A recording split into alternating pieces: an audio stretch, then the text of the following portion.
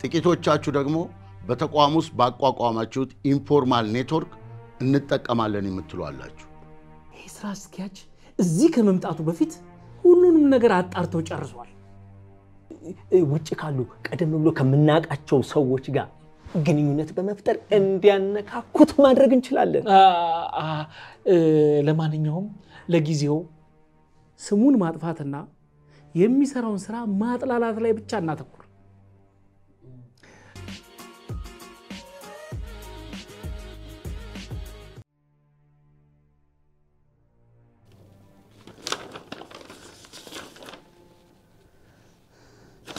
no no no no ጠሩኝ አቶ እንደሻው?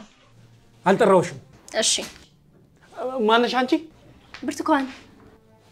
አዎ ብርቱካን። አቤት ጌታዬ። ስሜ በየቀኑ ነው የሚጠፋሽ ወይስ አቶ እንደሻው? እንደሻው አይደለም? እንዳሻው። እሺ አልጠራውሽም ደግሞ። እሺ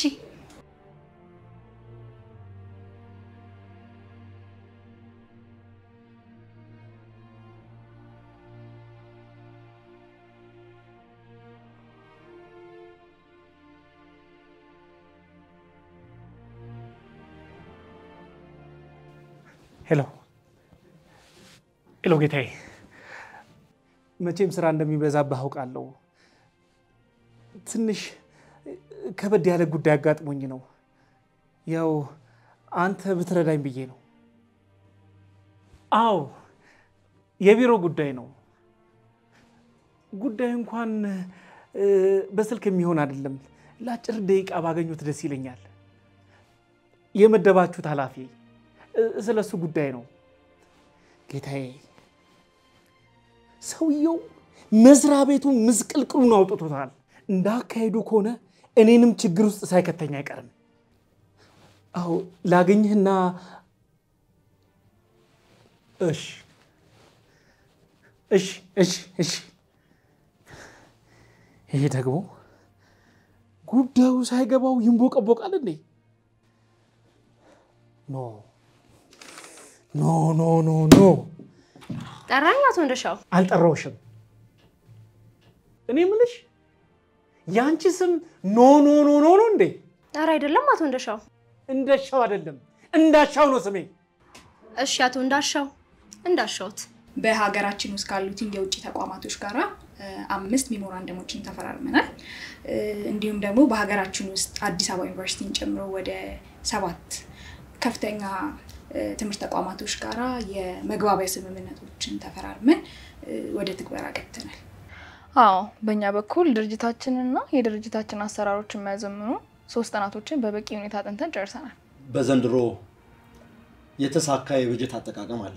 በሰው ኃይል፣ በማቴሪያል፣ በተቋም ግንባታ ጉልህ የሚባል ሚና ታይቷል። በሰራተኛውም ውስጥ እየታየ ያለው ለውጥ ከፍተኛ ነው። በዚህ ረገድ ከፍተኛ ለውጥ ካመጡት አንጻር የሰነዶች አያያዝ ጥበቃ ክፍል ከፍተኛ ለውጥ አምጥቷል። ይህንም ደግሞ ደንበኞች በሚሰጡት አስተያየት አረጋግጠናል።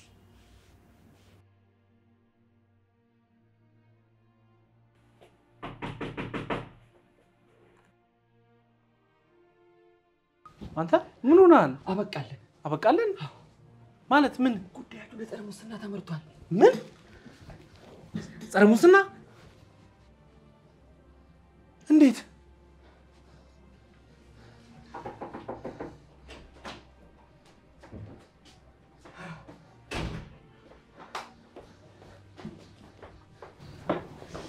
ኩሽ አንተ እንኳን ተስፋ ስጠን።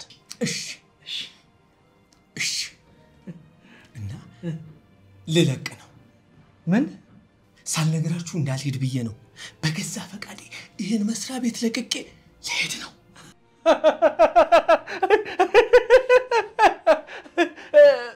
እየሸሸ ነው በለው በለው።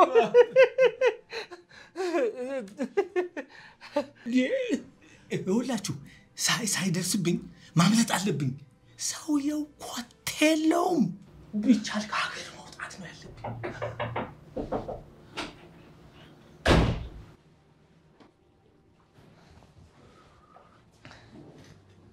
አብቅቶልናል። አያበቃም። እንትን የሆነ ነገር የሆነ ነገር የሆነ ነገር ፈልጊ። የሆነ ነገር? በቃ የሆነ መውጫ ቀዳዳ፣ የማርያም መንገድ የለም። እኔ ምንም አላውቅም። ይኖራል ይኖራል ይኖራል ይኖራል። እስቲ ቁጭ በሉ ቁጭ በሉ።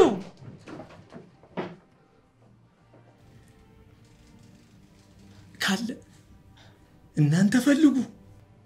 እኔ ግን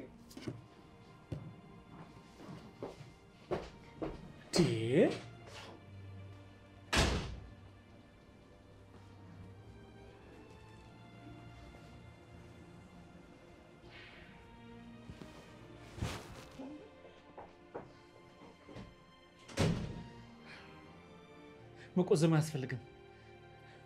የሆነ ነገር ነው ያስፈልጋል። እና ምን እናድርግ? አንድ ነገር አንድ ነገር ምን? እንዴት እንደተቀጠርሽ ታስታውሻለሽ? አይደለም መቼም ከመሞት መሰንበት ይሻላል። አሁን የኔም ሆነ የእያንዳንዳችሁ እጣ ፈንታ የሚወሰነው በሚገኙት ሰነድና ማስረጃዎች ላይ ነው። የቱንም ያህል ጠንቃቃ ብንሆን አንገታችንን ሸምቀቆ ውስጥ ሊያስገቡ የሚችሉ ሰነዶችና ማስረጃዎች አሉ። ስለዚህ ከመዝገብ ቤት ውስጥ የሚገኙና እኛን ሊያስጠይቁ የሚችሉ ሰነዶችና ማስረጃዎች መጥፋት አለባቸው። ለዚህ ደግሞ ከአንቺ ውጪ ማንም የለም። ማለት ስራ አስኪያጁ ከመዝገብ ቤት የቀየረሽ ለምን ይመስልሻል? ሰነዶቹ እንዳይጠፉ። ስለዚህ የቀድሞ የመዝገብ ቤት ስራ ባልደረቦችሽን ተጠቅመሽ ሰነዶቹን ታጠፊያለሽ። ያ የቀድሞ የስራ ባልደረባሽ ማን ነበር? ይሄ መላጣው በቃ እሱ ያስቸግረኛል፣ ይወደኛል ምናምን ብለሽ ነበር። እሱ የለውጡ ባቡር ላይ ተሳፍሬያለሁ እያለ ነው። ታዲያ ቀስ ብለሽ ከባቡሩ ላይ ውርጅዋ፣ ጎትችዋ፣ ጎትተሽ ጣይዋ። ይህ ውበት ለመቼ ነው? እንኳን እሱን እኛን በዛ ላይ ጎረምሳ ነው። በአንድ በኩል ገንዘብ እንደምንሰጠው ንገሪው። እዚህ ውበትሽ ግቢበታ። በአንድ በኩል የተንጋደደ ጫማ አድርጎ አቧራውን እያቦነነ እንዳይሆን ንገሪዋ። ህይወቱን እንዲቀይር ንገሪዋ። እ፣ በፊት ያስቸግረኛል ያልሽውን ተጠቀሚበት። ምን ነው አይ እሱማ አንድ ሰሞን አፍቅሬሻለሁ ምናምን እያለ ሲጃጃል ነበር። የስ መውጫ ቀዳዳችን እሱ ነው። ሰነዶቹን አሰርቂው። ተጨማሪ መቶ ሺህ ብር እንደምንሰጠው ንገሪው። እና አሁን ለምን አልደውልለት? ጥሩ ነው፣ ደውይለት።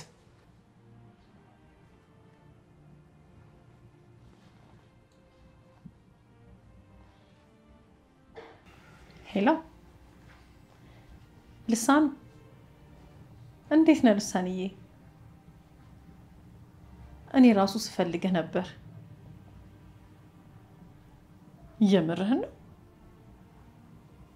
እኔ ራሱ በህልሜ አይቼ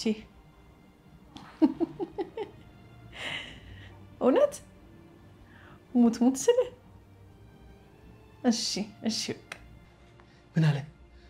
ተቀጣጠርን። እኔም ስፈልግሽ ነበር አለኝ። የስ! የስ! አመሰግናለሁ።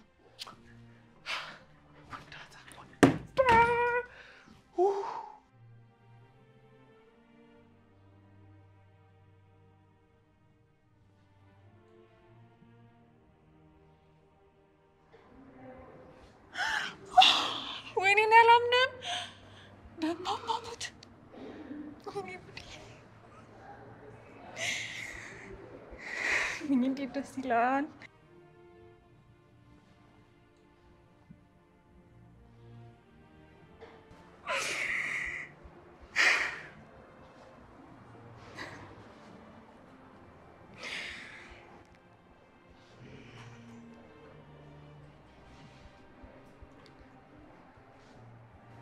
እማዬ እንኳን ደስ አለሽ። ባለፈው የውጭ የትምህርት እድል ሞክሬ ነበር አላልኩሽም?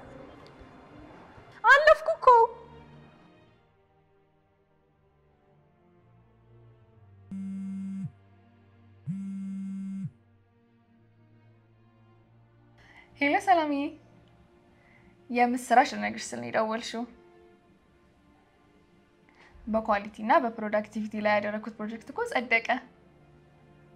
አይኖ እኔ ራሱ እንዴት ደስ እንዳለኝ አልገባሽም። አዎ ሌላው ደግሞ ለእኛ ድርጅትና ለሌሎች ድርጅቶች ደግሞ አጫጭር ስልጠናዎችን ልሰጥ ነው። እውነት ለመናገር ይህን አይነቱ ኃላፊነት የሚጣልብኝ ሰው አይደለሁም። አቶ ባህሩ ኃላፊነት የጣለብህ ጊዜ ነው። ሀገር ናት፣ ህዝብ ነው። ይህን ስታስብ ነው የምጠነክረው። በአሁኑ ሰዓት ሀገራችን ሰዎች ያስፈልጓታል። እውቀታቸውን፣ ችሎታቸውን፣ ላባቸውን የሚያፈሱላት ሰዎች ያስፈልጋሉ። እኛ ደግሞ የተጠየቅነው ወይ ላብ ነው ወይ ጊዜ ነው ወይ እውቀት ነው። ህይወት የሚከፍሉልን እኛ እንቅልፍ እንዲወስደን እንቅልፋቸውን አጥተው በቁርና በበረሃ ውስጥ የሚቃጠሉ እኮ አሉ። ላባቸውን የሚያፈሱ አልፎ ተርፎም አካላቸውን የሚያጎሉ ውድ ህይወታቸውንም ጭምር የሚሰጡን እኮ አሉ። እነሱ በመኖራቸው እኮ ነው እኛ ተኝተን አድረን ጠዋት ቡና ጠጥተን ቤተሰቦቻችንን እየመራን በሰላም የምንኖር ልክ እና ይህንን ተቋም በምክትል ስራ አስኪያጅነት እንድትመራው ፈልጋለሁ። ተቋማችንን የሀገር ምሳሌ እስኪሆን ድረስ እረፍት የለን። እሺ ተቀብያለሁ።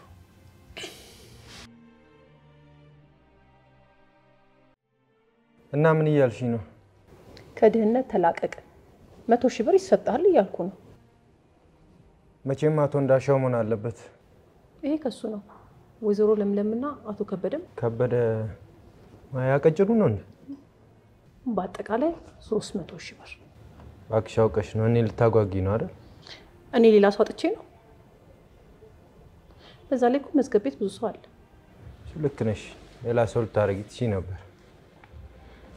እና ደግሞ ከጥቂት ወራት በፊት እንደምታፈቅረኝ ነግራኝ ነበር። ልክ ነሽ። ግን ያኔ አይሆንም ብዬ ፊት የነሳው ሳልፈልግ ቀርቼ አይደለም። ያው ጸባይን ልወቀው ብዬ። አሁን ግን እጄን ሰጥቻለሁ። ጥያቄን ተቀብያለሁ። ደግሞ አሁን በሚሰጠን ብር ህይወታችንን እናስተካክላለን አይመስልህ? ኦ አምላኬ፣ አላመንክም አይደል?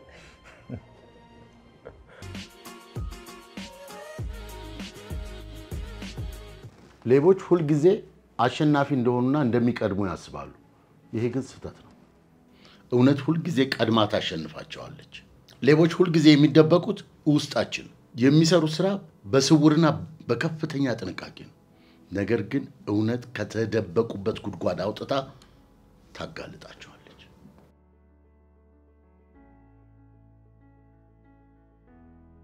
ወንጀልና ሌብነትን የተለማመዱ ሰዎች ልባቸው ይደነድንና ሁሉ ሰው እንደነሱ የላሸቀ ስነ ልቦና ያለው ይመስላቸዋል። ሁሉንም ሰው ደግሞ በገንዘባቸው እንደሚገዙ ያስባሉ። ነገር ግን በጥቅማ ጥቅምና ስብዕናቸውን ለገንዘብ የማይሸጡ የሞራል ልዕልናቸው ከፍ ያሉ ሰዎች ደግሞ እነሱን ማሸነፍ አይችሉም። የዚህ መስሪያ ቤትም ሆነ የሀገራችን ዋና በሽታው ሌብነት ነው። ሙስናና ጉቦ ትልቅ እባብ ሆኖ ሀገራችንን እየነደፋትና እያቆሰላት ነው። እባብን ጅራቱን በመምታት ወይም ወገቡ ላይ ዱላ በማሳረፍ አትገለው። ሙስናም እንደዚሁ